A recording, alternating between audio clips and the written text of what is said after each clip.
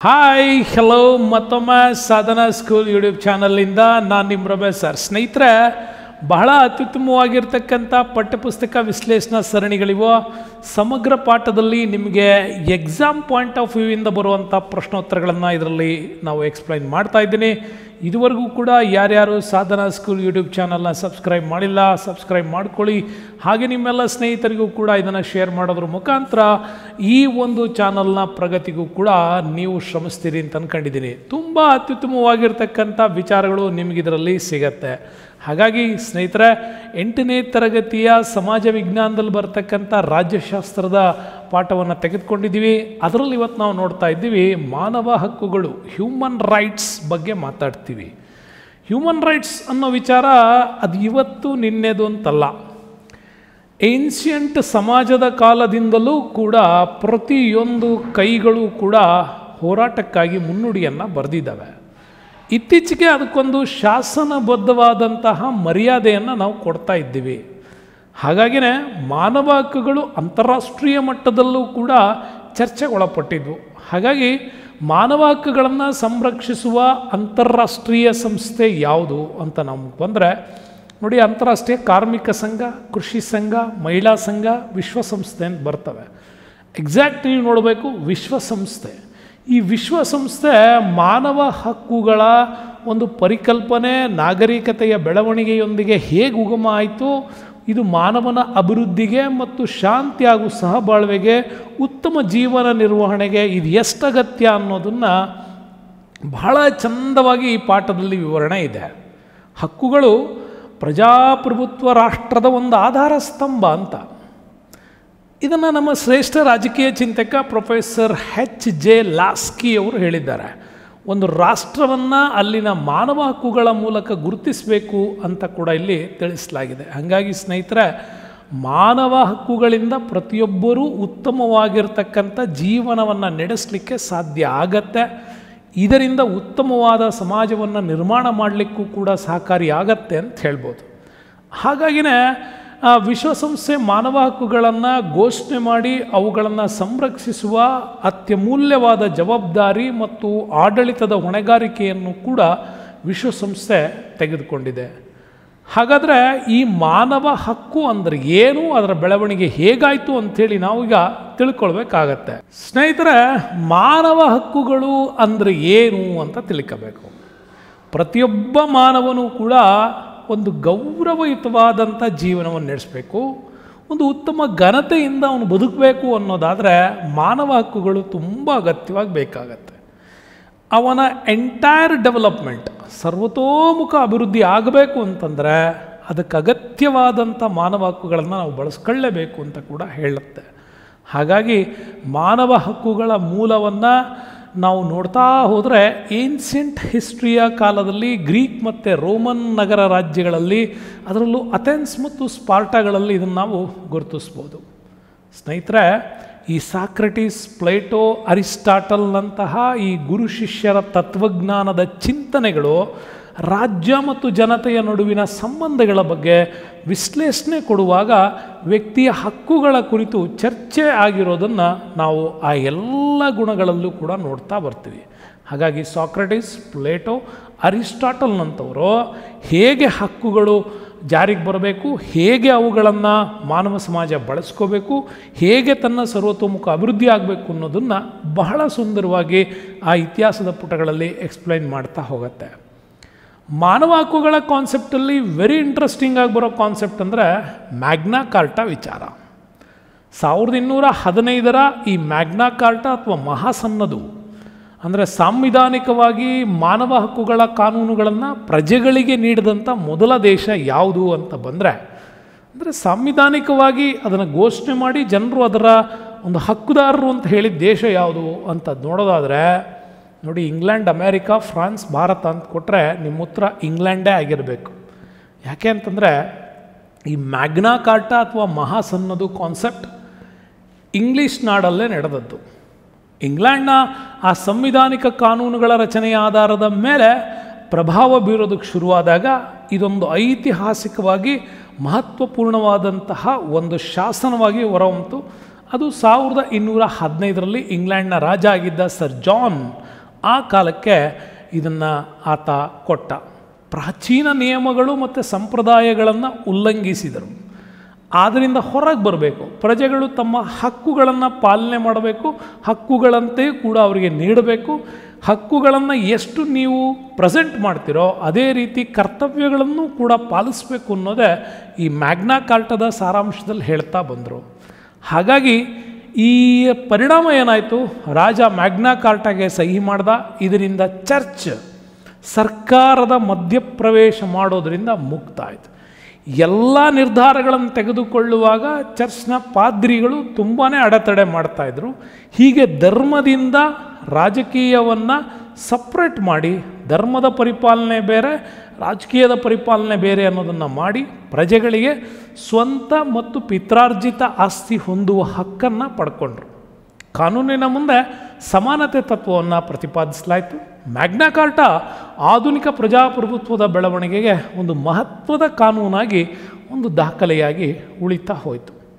ಹಾಗೆ ಸ್ನೇಹಿತರ, ವ್ಯಕ್ತಿಯ ನೈಸರ್ಗಿಕ ಹಕ್ಕುಗಳನ್ನು ಕುರಿತು ಕೂಡ ಜಾನ್ ಲಾಕ್ ತುಂಬ ಚೆನ್ನಾಗಿ ಹೇಳ್ತಾನೆ.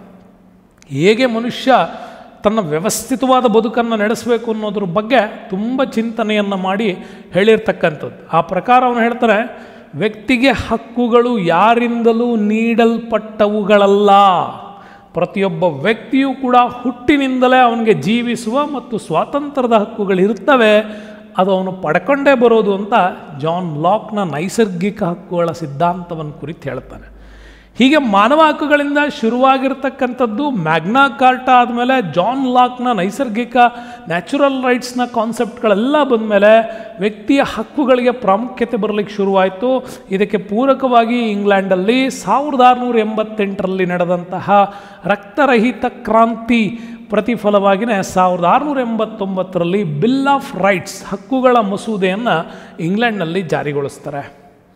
ನೋಡಿ, ಹೇಗೆ ಮನುಷ್ಯನಿಗೆ ಸರ್ವತೋಮುಖ ಅಭಿವೃದ್ಧಿಗಾಗಿ ಇಷ್ಟು ಅವಶ್ಯಕತೆ ಇದೆ ಅನ್ನೋದನ್ನು ಹೇಳೋದ್ರ ಮುಖಾಂತರ ಮೊದಲ ಬಾರಿಗೆ ಶಾಸನ ರೂಪದಲ್ಲಿ ಹಕ್ಕುಗಳ ಭದ್ರತೆಯನ್ನು ಇಂಗ್ಲೆಂಡ್ ಕೊಡೋದಕ್ಕೆ ಶುರು ಮಾಡ್ತು. ಹೀಗೆ ಕೊಡ್ತಾ ಕೊಡ್ತಾ ಯುರೋಪಿನ ರಾಷ್ಟ್ರಗಳಲ್ಲಿ ದೊಡ್ಡ ಮಟ್ಟದ ಚರ್ಚೆಗಳು ಶುರುವಾದವು. ಜಾನ್ ಲಾಕ್ ರೂಝೋ ಮಾಂಟೆಸ್ಕೋ ಇವರೆಲ್ಲರ ಚಿಂತನೆಗಳ ಪರಿಣಾಮ. ಅಮೇರಿಕ ಮತ್ತು ಫ್ರಾನ್ಸ್ಗಳಲ್ಲಿ ದೊಡ್ಡ ಮಟ್ಟದ ಕ್ರಾಂತಿಗಳು ನಡೆದವು. ಕ್ರಾಂತಿಯ ಪ್ರತಿಫಲ ಮುಂದೆ ಅಮೇರಿಕಾದ ಸ್ವಾತಂತ್ರ್ಯ ಘೋಷಣೆ ಆಗುತ್ತೆ ಸಾವಿರದ ಏಳ್ನೂರ ಎಪ್ಪತ್ತಾರರಲ್ಲಿ. ಎಲ್ಲ ಹದಿನೆಂಟು ಸಂಸ್ಥಾನಗಳ ನಂತರ ಒಕ್ಕೂಟ ಏಕೀಕರಣ ಆಯಿತು. ಹಾಗಾಗಿ united nations of America U S A create ಆಯಿತು. ಅಮೇರಿಕಾ ಸಂವಿಧಾನದ ಮೊದಲ ತಿದ್ದುಪಡಿಯಲ್ಲಿ ಹದಿನೈದು ಡಿಸೆಂಬರ್ ಸಾವಿರದ ಏಳ್ನೂರ ತೊಂಬತ್ತೊಂದರಲ್ಲಿ ಮಾನವ ಹಕ್ಕುಗಳ ಪಟ್ಟಿಯನ್ನು ಅಮೇರಿಕಾ ತನ್ನ ಸಂವಿಧಾನಕ್ಕೆ ಸೇರ್ಪಡೆ ಮಾಡಿಕೊಳ್ತು. ಹೀಗೆ ಸೇರ್ಪಡೆ ಮಾಡಿಕೊಳ್ಳೋದ್ರ ಮುಖಾಂತರ ಒಂದು ಅತ್ಯುತ್ತಮವಾಗಿರ್ತಕ್ಕಂತಹ ಸಾಧನೆಯನ್ನು ಕೂಡ ಮೆರೀತು ಅನ್ಬೋದು. ಆದರೆ ಒಂದು ಇಂಟ್ರೆಸ್ಟಿಂಗ್ ಪ್ರಶ್ನೆ ಇದೆ ನಮ್ಮಲ್ಲಿ. ಯಾವ ದೇಶದಲ್ಲಿ ಮಾನವ ಹಕ್ಕುಗಳನ್ನು ತನ್ನ ದೇಶಾದ್ಯಂತ ಜಾರಿಗೊಳಿಸಿದ್ದನ್ನು ಇಂದು ಐತಿಹಾಸಿಕ ಮೈಲಿಗಲ್ಲು ಅಂತಾರೆ ಅಂತ. ಹಾಗೊಂದು ಐತಿಹಾಸಿಕ ಮೈಲಿಗಲ್ಲು ಅಂತ ಕರೆಯೋದೇ ಆದರೆ ನಾವು ದೊಡ್ಡ ಮಟ್ಟದ ಯುರೋಪಲ್ಲಿ ಕ್ರಾಂತಿಯಾಗಿದ್ದು ಯಾವ ದೇಶದಲ್ಲಿ ಅನ್ನೋದನ್ನು ನೋಡ್ಕೋಬೇಕು. ಇಂಗ್ಲೆಂಡ್, ಅಮೇರಿಕಾ, ಫ್ರಾನ್ಸ್, ಭಾರತ ಅಂತ ಕೊಟ್ಟರೆ ಫ್ರಾನ್ಸ್ ಇದಕ್ಕೆ ನಿಮಗೆ ಸಿಗತ್ತೆ. ಯಾಕೆ ಅಂತಂದರೆ ಫ್ರಾನ್ಸಲ್ಲಿ ಮಾನವ ಹಕ್ಕುಗಳ ಘೋಷಣೆಯ ವಿರುದ್ಧ ದೊಡ್ಡ ಮಟ್ಟದಲ್ಲಿ ಕ್ರಾಂತಿ ಆಯಿತು. ಮಾನವ ಹಕ್ಕುಗಳು ಬೇಕೇ ಬೇಕು ಅನ್ನುವಂಥ ಹೋರಾಟ. ಫ್ರಾನ್ಸ್ನಲ್ಲಿ ಇದ್ದದ್ದು ಆ ಒಂದು ಲೂಹಿ ದೊರೆಗಳ ನಿರಂಕುಶ ಪ್ರಭುತ್ವ, ಹದಿನಾಲ್ಕನೇ ಲೂಯಿ, ಹದಿನೈದನೇ ಲೂಯಿ, ಹದಿನಾರನೇ ಲೂಯಿಯಿಂದ ದೊಡ್ಡ ಮಟ್ಟದಲ್ಲಿ ಜನರು ಬೇಸತ್ತಿದ್ರು. ವೆಚ್ಚದಾಯಕವಾದಂಥ ಬದುಕನ್ನು ಅವರು ಇಷ್ಟಪಡ್ತಿರಲಿಲ್ಲ. ಇವರ ದಬ್ಬಾಳಿಕೆಯಿಂದ ಮುಕ್ತಿ ಆಗಬೇಕಾಗಿತ್ತು ಸಾವಿರದ ಏಳ್ನೂರ ಎಂಬತ್ತೊಂಬತ್ತರಲ್ಲಿ ಫ್ರಾನ್ಸ್ ಮಹಾಕ್ರಾಂತಿ ನಡೆದು ಕೊನೆಗೆ ಸ್ವತಂತ್ರ ಆಗಿ ಫ್ರೆಂಚ್ ಗಣರಾಜ್ಯ ಸ್ಥಾಪನೆ ಆಗುತ್ತೆ ಎಲ್ಲ ಪ್ರಜೆಗಳಿಗೂ ಅವ್ರು ಅವತ್ತು ಘೋಷಣೆ ಮಾಡ್ತಾರೆ ಸ್ವಾತಂತ್ರ್ಯ, ಸಮಾನತೆ, ಆಸ್ತಿ ಮತ್ತು ಭದ್ರತೆ. ಈ ಭರವಸೆಯನ್ನು ನೀಡಿದ್ದು ಆ ಕಾಲಕ್ಕೆ. ಹಾಗಾಗಿ ಸಾವಿರದ ಏಳ್ನೂರ ಎಂಬತ್ತೊಂಬತ್ತರ ಫ್ರಾನ್ಸ್ನ ಈ ಒಂದು ಮಾನವ ಹಕ್ಕುಗಳ ಸಮಾನತೆಯನ್ನು ಕೊಟ್ಟಿದ್ದನ್ನು ಐತಿಹಾಸಿಕ ಗೆಲುವು ಅಂತಲೂ ಕೂಡ ನಮ್ಮಲ್ಲಿ ಎಕ್ಸ್ಪ್ಲೈನ್ ಮಾಡ್ತಾರೆ. ಮಾನವ ಹಕ್ಕುಗಳ ಬೆಳವಣಿಗೆ ಮತ್ತು ಯಾವುದೇ ಒಂದು ಪ್ರದೇಶಕ್ಕೆ ಸೀಮಿತವಾಗಿರೋದೇ ಇದು ವಿಶ್ವಮಟ್ಟದಲ್ಲಿ ಪ್ರಚಾರ ಆಗೋದಕ್ಕೆ ಶುರುವಾಯಿತು. ಒಂದನೇ ಮಹಾಯುದ್ಧ ನಡೀತು, ಎರಡನೇ ಮಹಾಯುದ್ಧಗಳು ನಡೆದು, ಮಹಾಯುದ್ಧಗಳ ನಂತರ ಸರ್ಕಾರಗಳು, ದೇಶಗಳು ಸ್ವತಂತ್ರಗೊಂಡವು, ಕಾನೂನುಗಳು ಜಾರಿಗೆ ಬಂದವು, ಸಂವಿಧಾನದಲ್ಲಿ ಅಳವಡಿಸಿದ್ರು. ಆದರೆ ಫಸ್ಟ್ ಟೈಮ್ ಒಂದನೇ ಮಹಾಯುದ್ಧ ಮುಗಿದ ಮೇಲೆ ರಾಷ್ಟ್ರಸಂಘ ರಚನೆ ಆಗುತ್ತೆ ಲೀಗ್ ಆಫ್ ನೇಷನ್ಸ್ ಮಾನವ ಹಕ್ಕುಗಳ ಸಂರಕ್ಷಣೆಗೆ ಪೂರಕವಾಗಿರ್ತಕ್ಕಂಥ ಒಂದು ಕಾನ್ಸ್ಟಿಟ್ಯೂಷನಲ್ ರೈಟ್ ಅಲ್ಲಿಗೆ ಬೇಕು ಅಂತ ಬಂತು. ಜಗತ್ತಲ್ಲಿ ಇದನ್ನು ಕಾಪಾಡಲೇಬೇಕು ಅಂತ. ಅದಾದ ಮೇಲೇ ಎರಡನೇ ಮಹಾಯುದ್ಧ ನಡೀತು. ಮಾನವ ಹಕ್ಕುಗಳ ಸಂರಕ್ಷಣೆ ಉದ್ದೇಶ ಗೊತ್ತಾಯಿತು. ರೂಸ್ವೆಲ್ಟ್, ಸ್ಟಾಲಿನ್ ಚರ್ಚಿಲ್ ಇವರ ಪ್ರಯತ್ನದಿಂದ ವಿಶ್ವಸಂಸ್ಥೆ ಹುಟ್ಕೊಳ್ತು ವಿಶ್ವಸಂಸ್ಥೆ ಮುಂದೆ ಇದನ್ನು ವಿಶ್ವ ಮಾನವ ಹಕ್ಕುಗಳ ದಿನ ಅಂತೇಳಿ ಮಾಡಿ ಆ ಮೂಲಕ ಘೋಷಣೆಯನ್ನು ಕೂಡ ಮಾಡ್ತು. ಆ ಒಂದು ಐತಿಹಾಸಿಕ ಘೋಷಣೆ ಅಂತಾರಾಷ್ಟ್ರೀಯ ಮಟ್ಟದಲ್ಲಿ ಯಾವಾಗಾಗಿದ್ದು ಅಂತ ಒಂದು ಪ್ರಶ್ನೆ ಯಾವಾಗೂ ಬರುತ್ತೆ. ವಿಶ್ವಸಂಸ್ಥೆ ಯಾವ ದಿನವನ್ನು ವರ್ಲ್ಡ್ ಹ್ಯೂಮನ್ ರೈಟ್ಸ್ ವಿಶ್ವ ಮಾನವ ಹಕ್ಕುಗಳ ದಿನ ಅಂತೇಳಿ ಘೋಷಣೆ ಮಾಡುತ್ತೆ ಅಂತ ಕೇಳ್ತಾರೆ. ಜನವರಿ ಒಂದು ಫೆಬ್ರವರಿ ಹದಿನಾಲ್ಕು ಮೇ ಒಂದು ಡಿಸೆಂಬರ್ ಹತ್ತು ಅಂತ ಬಂದರೆ ನಿಮ್ಮ ಆನ್ಸರ್ ಡಿಸೆಂಬರ್ ಹತ್ತು ಆಗಿರಬೇಕು. ಯಾಕೆ ಅಂತಂದರೆ ಅವತ್ತೇ ವಿಶ್ವಸಂಸ್ಥೆ ಈ ಮಾನವ, ವಿಶ್ವ ಮಾನವ ಹಕ್ಕುಗಳ ದಿನ ಅಂತೇಳಿ ಘೋಷಣೆ ಮಾಡ್ತು. ಹಾಗೆ ಘೋಷಣೆ ಮಾಡುವಾಗ nineteen forty eight December ten ವಿಶ್ವಸಂಸ್ಥೆ ತನ್ನ ಪ್ರಿಯಾಂಬಲಲ್ಲಿ ಪ್ರಸ್ತಾವನೆಯಲ್ಲಿ ಹೇಳ್ತಾರೆ, ವಿಶ್ವದ ಜನರಾದ ನಾವುಗಳು ವಿನಾಶಕಾರಿ ಯುದ್ಧಗಳಿಂದ ನಮ್ಮ ಮುಂದಿನ ಮನುಕುಲದ ಪೀಳಿಗೆಯನ್ನು ಉಳಿಸುವುದಕ್ಕಾಗಿ ಮತ್ತು ಅದನ್ನು ಬಲಪಡಿಸುವುದಕ್ಕೆ ನಿಶ್ಚಯಿಸಿದ್ದೇವೆ. ಯುದ್ಧವು ನಮ್ಮ ಜೀವಿತಾವಧಿಯಲ್ಲಿ ಎರಡು ಬಾರಿ ಇಂಥ ದುಃಖಕ್ಕೆಳೆದಿದೆ. ಆದ್ದರಿಂದ ಇದನ್ನು ಸ್ಥಾಪನೆ ಮಾಡಲೇಬೇಕು ಅನ್ನೋ ಉದ್ದೇಶಕ್ಕಾಗಿ ವಿಶ್ವಸಂಸ್ಥೆಯ ಸ್ಥಾಪನೆಯ ಮೂಲ ಉದ್ದೇಶ ಜಗತ್ತಿನ ಯಾವುದೇ ಭಾಗದಲ್ಲಿ ಯಾವುದೇ ರೀತಿಯ ಮಾನವ ಹಕ್ಕುಗಳ ಉಲ್ಲಂಘನೆಯಾಗದಂತೆ ತಡೆಯೋದೇ ಆಗಿದೆ ಅಂಥೇಳಿ ವಿಶ್ವಸಂಸ್ಥೆ ಡಿಸೆಂಬರ್ ಹತ್ತು ಸಾವಿರದ ಒಂಬೈನೂರ ನಲವತ್ತೆಂಟರಲ್ಲಿ ಪ್ರತಿಯೊಂದು ರಾಷ್ಟ್ರಗಳು ಕಡ್ಡಾಯವಾಗಿ ಎಲ್ಲ ರೀತಿಯ ಮಾನವ ಹಕ್ಕುಗಳನ್ನು ಸಂರಕ್ಷಿಸಬೇಕು ಅಂಥೇಳಿ ಹೇಳ್ತು. ಇನ್ನು ಮಾನವ ಹಕ್ಕುಗಳು ಮತ್ತು ಭಾರತ ಸಂವಿಧಾನ ವಿಚಾರಕ್ಕೆ ಬರ್ತೀವಿ. ವಿಶ್ವಸಂಸ್ಥೆ ಘೋಷಿಸಿರೋ ಮಾನವ ಹಕ್ಕುಗಳ ಅಂಶಗಳನ್ನು ನಮ್ಮ ಸಂವಿಧಾನದ ಪ್ರಸ್ತಾವನೆ ಹಾಗೂ ಮೂಲಭೂತ ಹಕ್ಕುಗಳಲ್ಲಿ ಅದನ್ನು ತಿಳಿಸ್ತಾ ಹೋದ್ರು. ಹೀಗೆ ತಿಳಿಸಿದ್ದರ ಪರಿಣಾಮ ನೋಡ್ತಾ ಹೋಗ್ತೀವಿ. ಪ್ರಸ್ತಾವನೆಯಲ್ಲಿ ನ್ಯಾಯ, ಸ್ವತಂತ್ರ, ಸಮಾನತೆ, ಭ್ರಾತೃತ್ವ.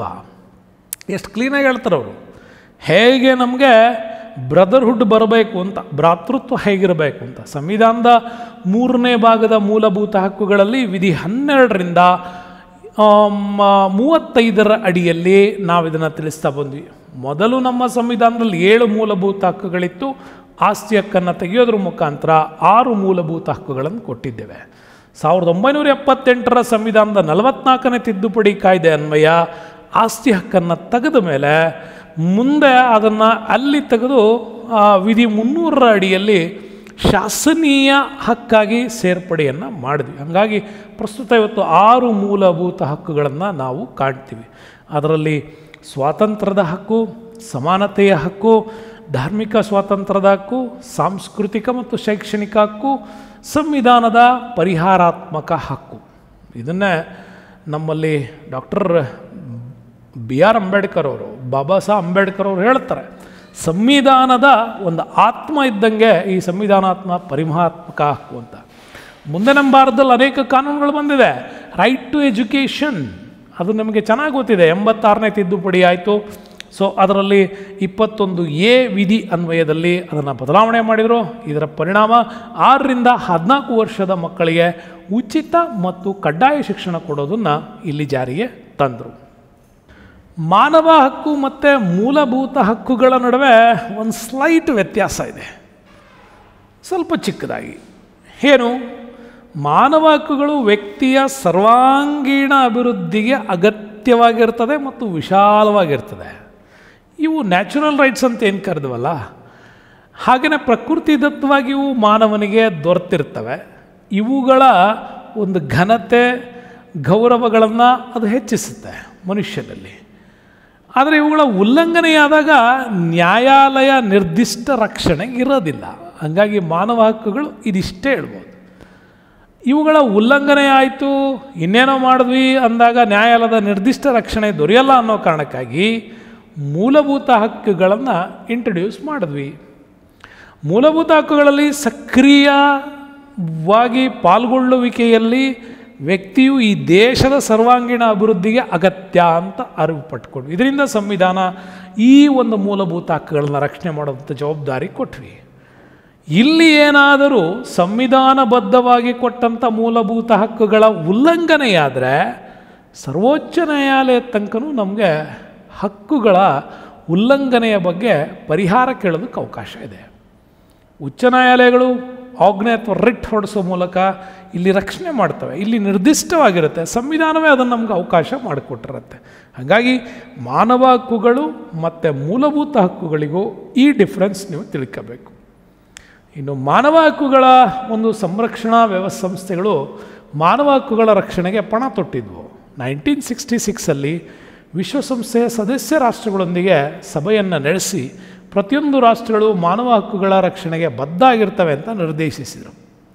ಮುಂದೆ ಮಾನವ ಹಕ್ಕುಗಳ ಸಂರಕ್ಷಣೆಗಾಗಿ ಅಂತಾರಾಷ್ಟ್ರೀಯ ಮಟ್ಟದಲ್ಲಿ ಅಂತಾರಾಷ್ಟ್ರೀಯ ಮಾನವ ಹಕ್ಕುಗಳ ಆಯೋಗವನ್ನು ರಚಿಸಿದರು. ಇದಕ್ಕೆ ಪೂರಕವಾಗಿ ರಾಷ್ಟ್ರ ಮಟ್ಟದಲ್ಲಿ ರಾಷ್ಟ್ರೀಯ ಮಾನವ ಹಕ್ಕುಗಳ ಆಯೋಗ ಬಂತು. ಇಂಟರ್ನ್ಯಾಷನಲ್ ಹ್ಯೂಮನ್ ರೈಟ್ಸ್ ಕಮಿಷನು ಅದಾದಮೇಲೆ ನ್ಯಾಷನಲ್ ರಾಷ್ಟ್ರೀಯ ಒಂದು ಮಾನವ ಹಕ್ಕುಗಳ ಆಯೋಗ. ಅದಾದಮೇಲೆ ಪ್ರತಿ ಸ್ಟೇಟಿಗೆ ಮಾಡಿದ್ರು. ಸ್ಟೇಟ್ ಲೆವೆಲಲ್ಲಿ ಹ್ಯೂಮನ್ ರೈಟ್ಸ್ ಆಯೋಗ, ಮಾನವ, ರಾಜ್ಯ ಮಾನವ ಹಕ್ಕುಗಳ ಆಯೋಗ ಬಂತು.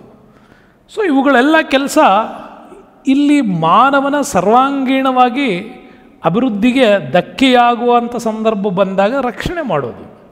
ಹಾಗಾಗಿ ರಾಷ್ಟ್ರೀಯ ಮಾನವ ಹಕ್ಕುಗಳ ಆಯೋಗ ಬಂತು. ಈಗ ರಾಷ್ಟ್ರೀಯ ಮಾನವ ಹಕ್ಕುಗಳ ಆಯೋಗದ ಅಧ್ಯಕ್ಷರಾಗಿ ಅರುಣ್ ಕುಮಾರ್ ಮಿಶ್ರಾ ಅವರು ಎರಡು ಸಾವಿರದ ಇಪ್ಪತ್ತೊಂದರಿಂದ ಇದ್ದಾರೆ. ಅಟ್ ಪ್ರೆಸೆಂಟ್ ಅವರು ಇದ್ದಾರೆ. ಮತ್ತು ನೀವು ಕಾಂಪಿಟೇಟಿವ್ ಎಕ್ಸಾಮ್ಸ್ಗೆ ಹೋಗುವ ಹಿಂದಿನ ದಿನ ನೀವು ಇದನ್ನು ಚೆಕ್ ಮಾಡ್ಕೊಳ್ಳೇಬೇಕು. ಯಾಕೆಂದರೆ ಅವತ್ತಿಗೆ ಅವನು ಅಧಿಕಾರ ಮುಗಿದು ಬೇರೆ ಯಾರಾದರೂ ಬಂದಿದ್ದರೆ ಅಂತ. ಹಾಗಾಗಿ ರಾಷ್ಟ್ರೀಯ ಮಾನವ ಹಕ್ಕುಗಳ ಆಯೋಗದ ಶಾಸನಾತ್ಮಕ ಸಂಸ್ಥೆ ನೈನ್ಟೀನ್ ನೈಂಟಿ ತ್ರೀ ಸಂವಿಧಾನದಲ್ಲಿ ಶಾಸನದ ಮೂಲಕ ಇದನ್ನು ರಚನೆ ಮಾಡಲಾಗಿದೆ. ಹಾಗಾದರೆ ಈ ಆಯೋಗವನ್ನು ಹೆಂಗೆ ರಚನೆ ಮಾಡ್ತಾರೆ? ಒಬ್ಬ ಅಧ್ಯಕ್ಷರು ಪ್ಲಸ್ ನಾಲ್ಕು ಜನ ಸದಸ್ಯರು ಇರ್ತಾರೆ. ಹಂಗಾರೆ ನ್ಯಾಷನಲ್ ಹ್ಯೂಮನ್ ರೈಟ್ಸ್ ಕಮಿಷನ್ಗೆ ನಮಗೆ ಅಧ್ಯಕ್ಷರು ಏನು ಅರ್ಹತೆ ಇರಬೇಕು ಅಂದರೆ ಸರ್ವೋಚ್ಚ ನ್ಯಾಯಾಲಯದ ನಿವೃತ್ತ ನ್ಯಾಯಾಧೀಶ ಆಗಿರಬೇಕು. ಅಂಥವ್ರನ್ನ ಹ್ಯೂಮನ್ ರೈಟ್ಸ್ ಕಮಿಷನ್ಸಲ್ಲಿ ಹಾಕ್ತಾರೆ. ಮತ್ತು ನಮ್ಮಲ್ಲಿ ಸದಸ್ಯರುಗಳು ಹೇಗಿರ್ತಾರೆ? ಸರ್ವೋಚ್ಚ ನ್ಯಾಯಾಲಯದ ಸೇವೆಯಲ್ಲಿರುವ ಅಥವಾ ನಿವೃತ್ತ ನ್ಯಾಯಾಧೀಶರಾಗಿದ್ದವರು, ಅಲ್ಲಿ ಸಿಗಲಿಲ್ಲ ಅಂದರೆ ಉಚ್ಚ ನ್ಯಾಯಾಲಯದಲ್ಲಿ ನಿವೃತ್ತ ಅಥವಾ ಸೇವೆಯಲ್ಲಿರೋ ನ್ಯಾಯಾಧೀಶರು. ಅವ್ರನ್ನ ಹಾಕೋತಾರೆ. ಇಬ್ಬರು ಸದಸ್ಯರುಗಳು ಮಾನವ ಹಕ್ಕುಗಳ ಸಂರಕ್ಷಣಾ, ಪ್ರಾಯೋಗಿಕ ಮತ್ತು ವಿಶೇಷ ಜ್ಞಾನ ಹೊಂದಿದವ್ರನ್ನ ಹಾಕೋತಾರೆ. ಹೀಗಾಗಿ ಈ ಆಯೋಗ ನಾಲ್ಕು ಪದನಿಮಿತ್ತ ಸದಸ್ಯರುಗಳನ್ನು ಇಲ್ಲಿ ಹಾಕ್ಕೊಂಡಿರ್ತದೆ. ಯಾವಾಗ ಅಧ್ಯಕ್ಷರು ಮತ್ತು ಅವ್ರ ಕೆಳಗಡೆ ಸದಸ್ಯರುಗಳ ಆಯಿತು? ಈ ಅಧ್ಯಕ್ಷರು, ಸದಸ್ಯರನ್ನು ನೇಮಕ ಮಾಡೋರು ಯಾರು ಅಂತ ಬಂದರೆ ರಾಷ್ಟ್ರಾಧ್ಯಕ್ಷರು ನೇಮಕ ಮಾಡ್ತಾರೆ. ಇವರ ಅಧಿಕಾರಾವಧಿ ಐದು ವರ್ಷಗಳು ಅಥವಾ ಅವನ ದೇಹಕ್ಕೆ ಎಪ್ಪತ್ತು ವರ್ಷ ಆಗೋವರೆಗೂ ಇವನು ಇರ್ತಾನೆ. ಇದರಲ್ಲಿ ಯಾವುದು ಫಸ್ಟ್ ಬರುತ್ತೋ ಅದರ ಪ್ರಕಾರ ಅವನ ಅಧಿಕಾರ ಏನಾಗುತ್ತೆ? ಪರಿಗಣನೆಗೆ ಬರುತ್ತೆ. ಐದು ವರ್ಷ ಅಧಿಕಾರಾವಧಿ ಇದೆ ಅಂಥೇಳಿ ಅವನು ಅರವತ್ತೊಂಬತ್ತನೇ ವರ್ಷಕ್ಕೆ ಸೆಲೆಕ್ಟ್ ಆಗಿ, ಇಲ್ಲಪ್ಪ ನಾನು ಐದು ವರ್ಷ ಇರಲೇಬೇಕು ಅಂತ ಹೇಳಂಗಿಲ್ಲ. ಅವ್ನು ಬಂದಿನೂ ಒಂದು ವರ್ಷ ಆಗೈತಿ, ನನಗೆ ರಿಟೈರ್ಡ್ ಆಗಿ ಮಾಡ್ತೀರಾ ಅಂದರೆ ನಿನ್ನ ದೇಹಕ್ಕೆ ಎಪ್ಪತ್ತು ವರ್ಷ ಆಗಿದೆ ರಿಟೈರ್ಡ್ ಆಗು ಅಂತ ಹೇಳ್ತೀವಿ. ಹಿಂಗದು. ಅದರಲ್ಲಿ ಯಾವುದು ಫಸ್ಟ್ ಬರುತ್ತೋ ಅದನ್ನು ಪರಿಗಣನೆ ಮಾಡ್ತಾರೆ. ಇನ್ನು ಕೇಂದ್ರ ಸರ್ಕಾರ ನಿಗದಿಪಡಿಸಿದ ಸಂಬಳ, ಭತ್ಯೆ, ಸೌಲಭ್ಯಗಳನ್ನು ಕೂಡ ಕೊಡ್ತಾರೆ. ಈ ಆಯೋಗ ನಿಷ್ಪಕ್ಷಪಾತವಾಗಿ, ಸ್ವತಂತ್ರವಾಗಿ, ಸ್ವಾಯತ್ತವಾಗಿ ಕಾರ್ಯನಿರ್ವಹಿಸುವಂತೆ ಅಧಿಕಾರಗಳನ್ನು ನೀಡಲಾಗಿರ್ತದೆ. ಈಗ ನಾವು ನ್ಯಾಷನಲ್ ಲೆವೆಲ್ದಾದಮೇಲೆ ಸ್ಟೇಟ್ ಲೆವೆಲ್ಲಿಗೆ ಬರ್ತೀವಿ. ರಾಜ್ಯ ಮಾನವ ಹಕ್ಕುಗಳ ಆಯೋಗ ಇರುತ್ತೆ. ಈಗ ಅಟ್ ಪ್ರೆಸೆಂಟ್ ಕರ್ನಾಟಕ ರಾಜ್ಯ ಹಕ್ಕು ಮಾನವ ಹಕ್ಕುಗಳ ಆಯೋಗದಲ್ಲಿ ಡಾಕ್ಟರ್ ಶ್ಯಾಮ್ ಭಟ್ ಎರಡು ಸಾವಿರದ ಇಪ್ಪತ್ತ್ಮೂರರಿಂದ ಕೆಲಸ ಮಾಡ್ತಾ ಇದ್ದಾರೆ. ಸೊ ನೀವು, ನಾನು ಯಾವಾಗೂ ಹೇಳ್ತಾ ಇರ್ತೀನಿ ಕಾಂಪಿಟೇಟಿವ್ ಎಕ್ಸಾಮ್ಸ್ಗೆ ಹೋಗೋರು, ಅದರ ಹಿಂದಿನ ದಿನ ಇವ್ರು ಯಾರಿದ್ದಾರೆ ಅಂತ ಚೆಕ್ ಮಾಡ್ಕೋಬೇಕು. ಯಾಕಂದರೆ ನಾನು ಇವತ್ತಿನ ವಿಡಿಯೋ ಮಾಡುವಾಗ ಮಾತ್ರ ಇವ್ರು ಇರೋದು. ನೆಕ್ಸ್ಟ್ ನೀವು ನೋಡೋ ವೇಳೆಗೆ ಅವ್ರು ಇರ್ತಾರೋ ಇಲ್ಲೋ ಗೊತ್ತಿಲ್ಲ. ಮಾನವ ಹಕ್ಕುಗಳ ಕಾಯ್ದೆ ನೈನ್ಟೀನ್ ನೈಂಟಿ ತ್ರೀ ಏನು ಜಾರಿ ಆಯಿತು? ಅದನ್ನು ರಾಜ್ಯಗಳಲ್ಲಿ ರಾಜ್ಯ ಮಾನವ ಹಕ್ಕುಗಳ ಆಯೋಗವನ್ನು ರಚನೆ ಮಾಡಬೇಕು, ಮಾನವ ಹಕ್ಕುಗಳ ಉಲ್ಲಂಘನೆಯನ್ನು ವಿಚಾರಣೆ ಮಾಡಬೇಕು ಅಂತ. ಈ ಆಯೋಗ ಒಬ್ಬ ಅಧ್ಯಕ್ಷರು ಮತ್ತು ಇಬ್ಬರು ಸದಸ್ಯರನ್ನು ಒಳಗೊಂಡಿರುತ್ತೆ, ಇದು ಕೂಡ. ಅಲ್ಲಿ ನಾಲ್ಕು ಜನ ಇದ್ದರೆ ಇಲ್ಲಿ ಇಬ್ಬರೇ ಇರ್ತಾರೆ. ಇಲ್ಲಿ ಯಾರು ಅಧ್ಯಕ್ಷರು? ಅಲ್ಲಿ ಸುಪ್ರೀಂ ಕೋರ್ಟ್ನ ನಿವೃತ್ತ ಇದ್ದರೆ ಇಲ್ಲಿ ಹೈಕೋರ್ಟ್ನ ನಿವೃತ್ತ ಮುಖ್ಯ ನ್ಯಾಯಾಧೀಶರು ಇಲ್ಲಿ ಇರ್ತಾರೆ. ಸದಸ್ಯರು ಸೇಮ್, ಉಚ್ಚ ನ್ಯಾಯಾಲಯದ ಸೇವೆಯಲ್ಲಿರೋರು ಅಥವಾ ನಿವೃತ್ತ ನ್ಯಾಯಾಧೀಶರು ಇರ್ತಾರೆ. ಅಥವಾ ಅದ್ರ ಕೆಳಗಡೆನ ಡಿಸ್ಟಿಕ್ ಕೋರ್ಟ್ಗಳಲ್ಲಿ, ಜಿಲ್ಲಾ ನ್ಯಾಯಾಲಯಗಳಲ್ಲಿ ಕನಿಷ್ಠ ಏಳು ವರ್ಷಗಳು ನ್ಯಾಯಾಧೀಶರಾಗಿ ಸೇವೆ ಸಲ್ಲಿಸಿದವರು, ಇವ್ರನ್ನ ಇಲ್ಲಿ ರಾಜ್ಯಪಾಲರು ನೇಮಕ ಮಾಡ್ತಾರೆ. ಅಲ್ಲಿ ರಾಷ್ಟ್ರಾಧ್ಯಕ್ಷರು ನೇಮಕ ಮಾಡ್ತಾರೆ, ಇಲ್ಲಿ ರಾಜ್ಯಪಾಲರು ಕೂಡ ನೇಮಕ ಮಾಡ್ತಾರೆ. ಇನ್ನು ಉಳಿದವೆಲ್ಲ ಸೇಮ್ ಟು ಸೇಮ್ ಇರ್ತಾವೆ. ಇನ್ನು ನೆಕ್ಸ್ಟ್ ಬರೋದು ನಮಗೆ ರಾಷ್ಟ್ರೀಯ ಪರಿಶಿಷ್ಟ ಜಾತಿ ಆಯೋಗ, ಶೆಡ್ಯೂಲ್ ಕ್ಯಾಸ್ಟ್ ಕಮಿಷನ್ಸ್. ಈಗ ಕಿಶೋರ್ ಮಖ್ವಾನ ಅವರು ಅಧಿಕಾರದಲ್ಲಿ ಇದ್ದಾರೆ ಅಟ್ ಪ್ರೆಸೆಂಟ್. ಎರಡು ಸಾವಿರದ ಮೂರರಲ್ಲಿ ಭಾರತ ಸಂವಿಧಾನದ ವಿಧಿ ಮುನ್ನೂರ ಮೂವತ್ತೆಂಟಕ್ಕೆ ಎಂಬತ್ತೊಂಬತ್ತನೇ ತಿದ್ದುಪಡಿ ಕಾಯ್ದೆಯನ್ನು ಮಾಡಿದಾಗ ಆ ಮೂಲಕ ಪರಿಶಿಷ್ಟ ಜಾತಿ ಮತ್ತು ಪರಿಶಿಷ್ಟ ಪಂಗಡಗಳ ರಾಷ್ಟ್ರೀಯ ಆಯೋಗವನ್ನು ಒಟ್ಟಾಗಿರೋದನ್ನು ಬೇರ್ಪಡೆ ಮಾಡಲಾಯಿತು. ಹಾಗಾಗಿ ಈಗ ಪರಿಶಿಷ್ಟ ಜಾತಿ ಆಯೋಗ ಅಂತಿದೆ, ಪರಿಶಿಷ್ಟ ಪಂಗಡಗಳ ಆಯೋಗ ಅಂತ ಬೇರೆ ಇದೆ. ರಾಷ್ಟ್ರೀಯ ಪರಿಶಿಷ್ಟ ಜಾತಿ ಆಯೋಗ ಮತ್ತು ರಾಷ್ಟ್ರೀಯ ಪರಿಶಿಷ್ಟ ಪಂಗಡದ ಆಯೋಗ ಅಂತ ಡಿವೈಡ್ ಮಾಡಿದ ಮೇಲೆ ಇಲ್ಲಿ ಹೆಂಗೆ ರಾಷ್ಟ್ರೀಯ ಪರಿಶಿಷ್ಟ ಜಾತಿ ಆಯೋಗ, ಒಬ್ಬ ಅಧ್ಯಕ್ಷರು, ಒಬ್ಬ ಉಪಾಧ್ಯಕ್ಷರು, ಮೂವರು ಸದಸ್ಯರುಗಳು, ಟೋಟಲ್ ಫೈವ್ ಮೆಂಬರ್ಸ್ ಒಬ್ಬ ಅಧ್ಯಕ್ಷ, ಇನ್ನೊಬ್ಬ ಉಪಾಧ್ಯಕ್ಷ, ಮೂವರು ಸದಸ್ಯರುಗಳನ್ನು ಒಳಗೊಂಡಿರುತ್ತೆ. ಇವರನ್ನು ನೇಮಕ ಮಾಡೋರು ಯಾರು? ರಾಷ್ಟ್ರಾಧ್ಯಕ್ಷರೇ ನೇಮಕ ಮಾಡ್ತಾರೆ. ನೆಕ್ಸ್ಟ್ ಇಲ್ಲಿ ಪರಿಶಿಷ್ಟ ಇವ್ರ ಕೆಲಸ ಏನು ಅಂತ? ಪರಿಶಿಷ್ಟ ಜಾತಿಯ ವ್ಯಕ್ತಿಗಳ ಮೇಲೆ ದೌರ್ಜನ್ಯಗಳ ತಡೆಗೆ ಇಲ್ಲಿ ಮುಂಜಾಗ್ರತಾ ಕ್ರಮಗಳನ್ನು ಕೈಗೊಳ್ಳೋದು. ಮತ್ತು ವ್ಯಕ್ತಿಗಳ ಮೇಲಿನ ಮಾನವ ಹಕ್ಕುಗಳ ಉಲ್ಲಂಘನೆಯ ಪ್ರಕರಣಗಳನ್ನು ಗುರುತಿಸಿ ಅವರಿಗೆ ಅಗತ್ಯವಾದ ನೆರವನ್ನು ಕೊಡೋದು. ನೆಕ್ಸ್ಟ್ ಹೇಳ್ತೀವಿ, ಈ ಆಯೋಗ ಪರಿಶಿಷ್ಟ ಜಾತಿಗಳ ಅಭಿವೃದ್ಧಿಗೆ ಕೇಂದ್ರ ಮತ್ತು ರಾಜ್ಯ ಸರ್ಕಾರಗಳು ರೂಪಿಸೋ ಯೋಜನೆಗಳಿಗೆ ಅಗತ್ಯವಿರುವ ಮಾಹಿತಿಯನ್ನು ಇದು ಕೊಡ್ತಾ ಇರುತ್ತೆ. ನೆಕ್ಸ್ಟ್ ಬರ್ತೀವಿ ನಾವು. ಹಂಗಾರೆ ಪರಿಶಿಷ್ಟ ಜಾತಿದಾದ್ಮೇಲೆ ಪರಿಶಿಷ್ಟ ಪಂಗಡಗಳದ್ದು ನೋಡಬೇಕು. ರಾಷ್ಟ್ರೀಯ ಪರಿಶಿಷ್ಟ ಪಂಗಡಗಳ ಆಯೋಗ. ಎರಡು ಸಾವಿರದ ಮೂರರಲ್ಲಿ ಭಾರತ ಸಂವಿಧಾನದ ಎಂಬತ್ತೊಂಬತ್ತನೇ ತಿದ್ದುಪಡಿ ಕಾಯ್ದೆ ಅನ್ವಯ ರಾಷ್ಟ್ರೀಯ ಪರಿಶಿಷ್ಟ ಪಂಗಡಗಳ ಆಯೋಗವನ್ನು ರಚನೆ ಮಾಡಲಾಯಿತು. ಇಲ್ಲಿ ಒಬ್ಬ ಅಧ್ಯಕ್ಷರು, ಒಬ್ಬ ಉಪಾಧ್ಯಕ್ಷರು, ಮೂವರು ಸದಸ್ಯರು. ಸೇಮ್ ಎಸ್ ಸಿ ಕಮಿಷನ್ ಥರನೇ ಎಸ್ ಟಿ ಕಮಿಷನ್ಸ್ ಕೂಡ ಇರುತ್ತೆ. ಇಲ್ಲೂ ಕೂಡ ರಾಷ್ಟ್ರಾಧ್ಯಕ್ಷರನ್ನು ನೇಮಕ ಮಾಡ್ತಾರೆ. ಈ ಆಯೋಗ ಪರಿಶಿಷ್ಟ ಜಾತಿ ಆಯೋಗದಂತೆಯೇ ಇದು ಕೂಡ ಕಾರ್ಯವನ್ನು ನಿರ್ವಹಿಸುತ್ತೆ. ಅದರ ಜೊತೆಗೆ ನೆಕ್ಸ್ಟ್ ಬಂದದ್ದು ಹಿಂದುಳಿದ ವರ್ಗಗಳ ರಾಷ್ಟ್ರೀಯ ಆಯೋಗ O B C other backward community commissions nineteen ninety ತ್ರೀಯಲ್ಲಿ ಈ ಆಯೋಗವನ್ನು ಸ್ಥಾಪನೆ ಮಾಡಿದ್ರು. ಇದನ್ನು ಕೂಡ ಇಲ್ಲಿ ಒಬ್ಬ ಅಧ್ಯಕ್ಷರು, ನಾಲ್ಕು ಸದಸ್ಯರು. ಅಲ್ಲೆಲ್ಲ ಒಬ್ಬ ಅಧ್ಯಕ್ಷ, ಉಪಾಧ್ಯಕ್ಷ, ಮೂರು ಜನ ಎಸ್ ಸಿ ಎಸ್ ಟಿನಲ್ಲಿ ಇಲ್ಲಿ ಒಬ್ಬ ಅಧ್ಯಕ್ಷ, ನಾಲ್ಕು ಸದಸ್ಯರು ಇರ್ತಾರೆ. ಹಿಂದುಳಿದ ವರ್ಗಗಳ ಹಕ್ಕುಗಳ ಸಂರಕ್ಷಣೆಯನ್ನು ಇವರು ಮಾಡ್ತಾರೆ. ನೆಕ್ಸ್ಟ್ ಮತ್ತೊಂದು ಆಯೋಗ ಇದೆ ರಾಷ್ಟ್ರೀಯ ಮಹಿಳಾ ಆಯೋಗ. ಓಕೆ ನ್ಯಾಷನಲ್ ವುಮೆನ್ ಕಮಿಷನ್ಸ್ ಬರ್ತದಿಲ್ಲಿ ವುಮೆನ್ ರೈಟ್ಸ್ ಕಮಿಷನ್ಸಲ್ಲಿದೆ ಮಹಿಳೆಯರ ಹಕ್ಕುಗಳ ಸಂರಕ್ಷಿಸುವ ಉದ್ದೇಶ ಇತ್ತು. ಹಾಗಾಗಿ ಸಾವಿರದ ಒಂಬೈನೂರ ತೊಂಬತ್ತರಲ್ಲಿ ಇದನ್ನು ಕೂಡ ರಚನೆ ಮಾಡ್ತಾರೆ. ಇಲ್ಲಿ ಒಬ್ಬ ಅಧ್ಯಕ್ಷರು ಐದು ಜನ ಸದಸ್ಯರುಗಳಿರ್ತಾರೆ. ಟೋಟಲ್ ಸಿಕ್ಸ್ ಮೆಂಬರ್ಸ್ ಸಂವಿಧಾನಬದ್ಧವಾಗಿ ಮಹಿಳೆಯರಿಗೆ ನೀಡಿರುವ ಕಾನೂನುಗಳನ್ನು ರಕ್ಷಣೆ ಮಾಡೋದು ಹಾಗೆ ಮಹಿಳೆಯರನ್ನು ಕೆಲವು ವಿಚಾರಗಳಲ್ಲಿ ಜಾಗೃತಗೊಳಿಸೋದು ಅವರಿಗೆ ನಡೀತಿರುವ ಒಂದು ಪರಿಸ್ಥಿತಿಗಳ ಬಗ್ಗೆ ಅರಿವು ಮೂಡಿಸುವಂಥದ್ದು. ಮಹಿಳೆಯರ ಸಾಮಾಜಿಕ, ಆರ್ಥಿಕ, ಶೈಕ್ಷಣಿಕ, ಆರೋಗ್ಯ ಸ್ಥಾನಮಾನಗಳನ್ನೆಲ್ಲ ಪರಿಶೀಲಿಸುವ ಕಾರ್ಯಗಳನ್ನು ಇಲ್ಲಿ ಮಾಡ್ತಾರೆ. ಅದಾದ ಮೇಲೆ ನಮಗೆ ಬರೋದು ಮೈನಾರಿಟೀಸ್ ರಾಷ್ಟ್ರೀಯ ಅಲ್ಪಸಂಖ್ಯಾತ ಆಯೋಗ ಬರುತ್ತೆ. ಇಲ್ಲಿ ರಾಷ್ಟ್ರೀಯ ಅಲ್ಪಸಂಖ್ಯಾತ ಆಯೋಗದ ಒಂದು ಸಂರಕ್ಷಣೆಯ ಉದ್ದೇಶ ನೋಡೋದಾದರೆ ನೈನ್ಟೀನ್ ನೈಂಟಿ ಟೂನಲ್ಲಿ ರಾಷ್ಟ್ರೀಯ ಅಲ್ಪಸಂಖ್ಯಾತ ಆಯೋಗ ರಚನೆ ಆಯಿತು. ಇದು ಒಬ್ಬ ಅಧ್ಯಕ್ಷರು, ಒಬ್ಬ ಉಪಾಧ್ಯಕ್ಷರು ಹಾಗೂ ಐದು ಸದಸ್ಯರುಗಳನ್ನು ಒಳಗೊಂಡಿತ್ತು.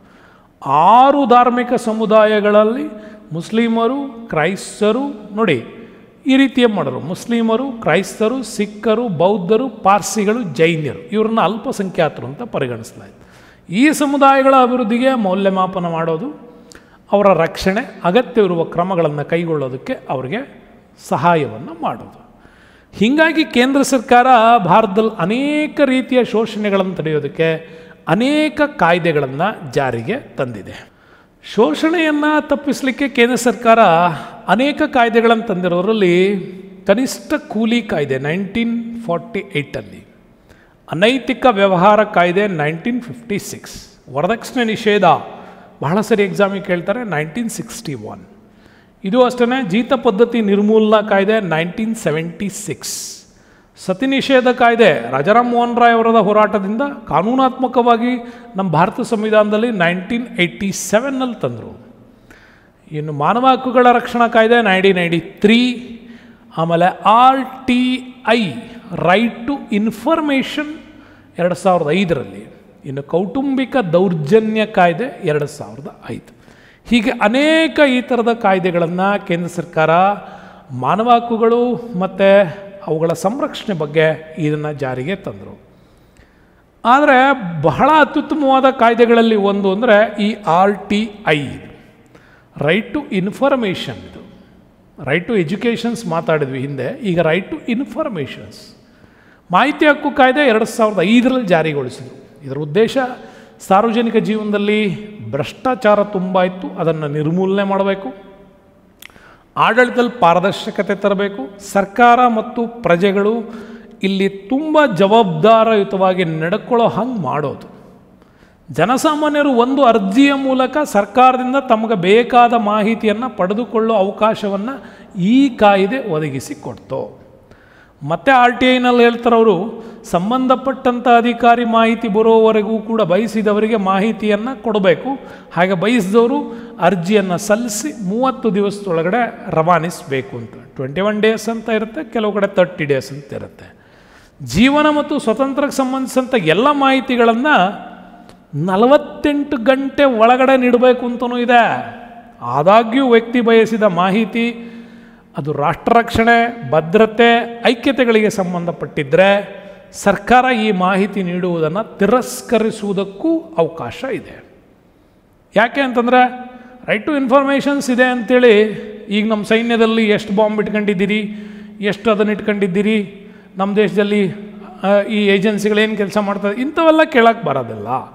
ನಮ್ಮ ದೇಶದ ಐಕ್ಯತೆ, ಭದ್ರತೆ, ರಕ್ಷಣೆಗೆ ಸಂಬಂಧಪಟ್ಟದ್ದು ಅದನ್ನು ಕೊಡಬೇಕು ಅನಿಸಿದರೆ ಸರ್ಕಾರಕ್ಕೆ ಬಯಸಿದರೆ ಕೊಡ್ಬೋದು, ಇಲ್ಲ ಸರ್ಕಾರ ಅದನ್ನು ತಿರಸ್ಕರಿಸ್ಬೋದು. ಅದು ಆ ವಿಷಯಕ್ಕೆ ಮಾತ್ರ. ಉಳಿದೆಲ್ಲ ವಿಷಯಗಳಲ್ಲಿ ಮೂವತ್ತು ದಿನದೊಳಗಡೆ ಇಲ್ಲಿ ಮಾಹಿತಿಯನ್ನು ಪಡಿಬೋದು. ಜೀವನ ಮತ್ತು ಸ್ವತಂತ್ರಕ್ಕೆ ಸಂಬಂಧಪಟ್ಟದ್ದಾಗಿದ್ದರೆ ನಲವತ್ತೆಂಟು ಗಂಟೆ ಒಳಗೆ ಮಾಹಿತಿಯನ್ನು ಪಡ್ಕೊಳ್ಬೋದು. ಹೀಗೆ ಅನೇಕ ಅತ್ಯುತ್ತಮವಾದಂಥ ಆರ್ ಟಿ ಐ ನಮ್ಮಲ್ಲಿ ಅವಕಾಶವನ್ನು ಮಾಡಿಕೊಟ್ಟಿದೆ. ಇಷ್ಟೊಂದು ಸುಂದರವಾದ ವಿಡಿಯೋಗಳನ್ನು ನಿಮಗೋಸ್ಕರ ತರ್ತಾ ಇದ್ದೀನಿ. Stay with sir thank you bye